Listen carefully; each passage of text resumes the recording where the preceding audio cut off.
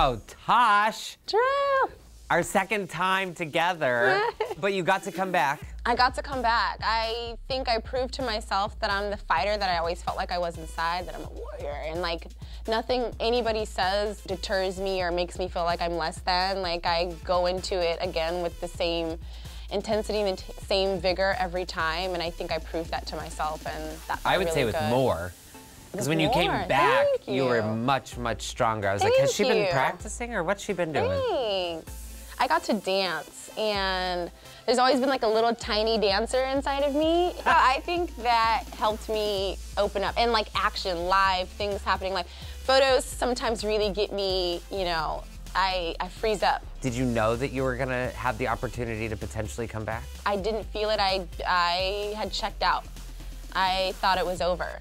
It's like, oh my God, get back up to speed. I yeah, I thought it was over, and when you know they let us know that we have this opportunity, I kind of knew. I was like, well, I'm gonna stand out. But you came out with guns blazing. I did. Tina Turner, and I that whole moment was so did. I fantastic. did. but Thank then your paper cover.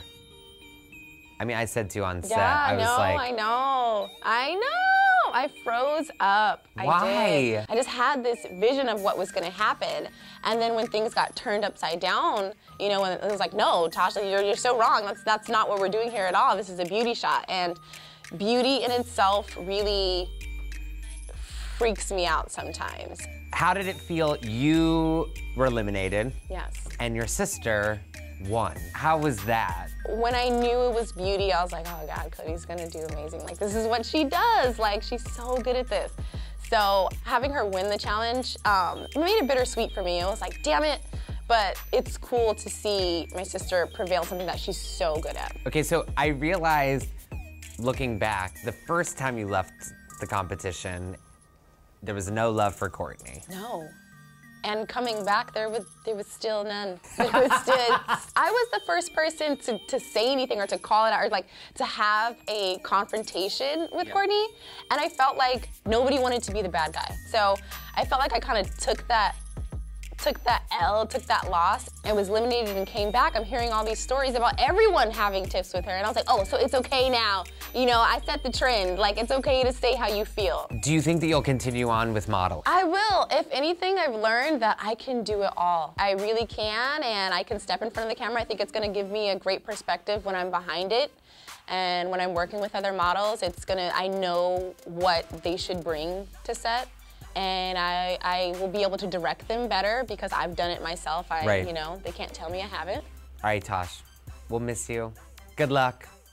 You know where to find me. Call me. I will. I'll help you with your creative You agency. better mean that. I, I swear. To, I swear. Drew, you're freaking me out right now. Of course, I'll help. Oh my. Thank you, Drew. All right, I'll see you.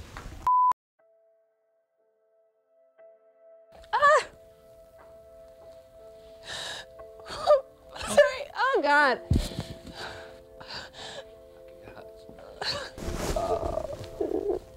We had so much fun. We had so much fun. But this doesn't end. I know it doesn't. It's, just just like the any- beginning. It's literally the beginning. It's like any project we do, right?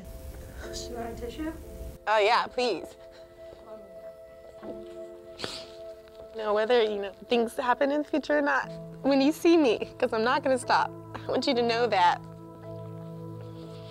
you had something to do with that. Oh. Please, like know that. It's awesome. You're dope.